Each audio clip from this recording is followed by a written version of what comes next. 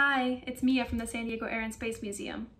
Today's engineering challenge is going to be about making a homemade pinwheel. You know you've made a good pinwheel when you're able to hold the middle or onto the handle and when you give it a blow of air, it starts to spin. Let's check it out.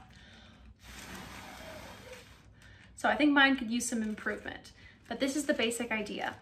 You're gonna need one piece of paper, make sure it's in the shape of a square, and something to clip the middle of your pinwheel together. I just have a piece of wire from a garden, but you can also use a paper clip or a bobby pin for this one. And if you wanna get fancy and instead of holding the back of the metal at all times, you can always attach it to a handle like a pencil or a straw.